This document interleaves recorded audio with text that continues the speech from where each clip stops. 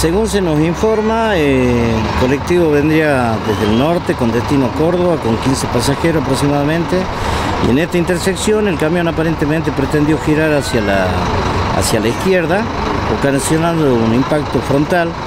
Y bueno, ya se trasladaron todas las víctimas por parte del personal de Ciprosa y estamos a la espera simplemente para hacer el control del vehículo, ya que quedó apoyado con el sector de, la batería hacia, hacia la cuneta, pero de todas maneras ya se aplicaron todos los botones de corta corriente, todo, está el riesgo eliminado, digamos. Hay lesionados, pero no nada de gravedad.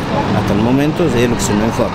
Nosotros tratamos de, ayudarlo, digamos, rompimos los vidrios y sacamos a la gente hasta que bueno, hasta que llegaron los bomberos y todo. Pero no fue nada grave, no se incendió el colectivo, nada por el estilo.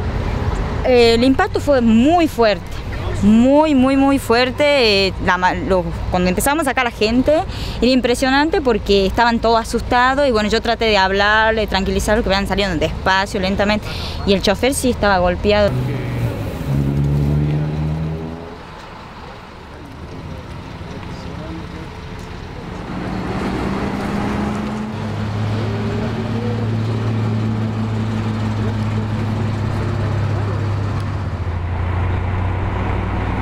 Se hizo la inspección de las unidades para corroborar de que no haya ninguna víctima entre los asientos, nada. Este, y de ahí van, no se puede tocar nada hasta tanto ordena la policía que podemos acceder.